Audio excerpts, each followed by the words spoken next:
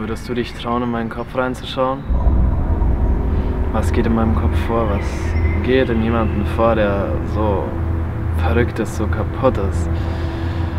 Es ist nicht der Wunsch nach Macht, es ist nicht der Wunsch nach Erlösung, es ist einfach Hass und Zorn und innere Wut und Trauer. Du beginnst jeden Morgen gleich. Wachst auf, stellst dir dieselbe Frage wie jeden Tag. Warum bist du da?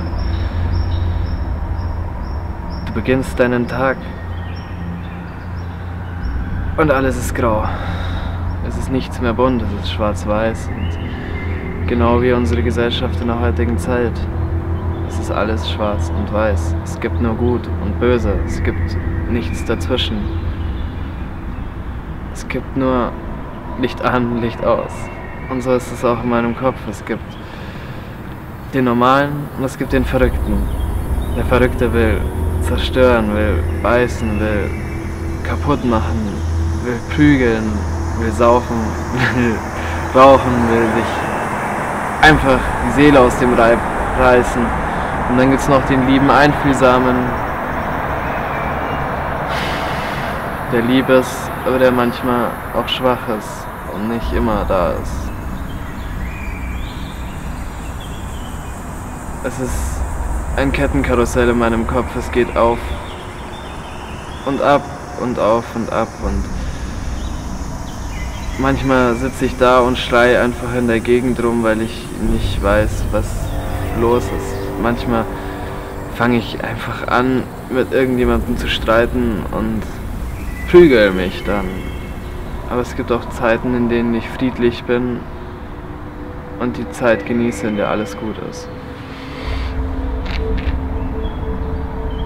Mein Kopf ist kaputt, mein Kopf ist voller Wahnsinn. Es gibt nichts, was mir ich hochziehen kann. Was ist Wahnsinn mehr, als jeden Tag dasselbe zu tun und andere Ergebnisse zu erwarten? Wahnsinn ist, wenn man sich selbst nichts mehr bedeutet und sich selbst aufgibt und alles fallen lässt sich Schmerzen zufügt, um den Schmerz innen zu stoppen.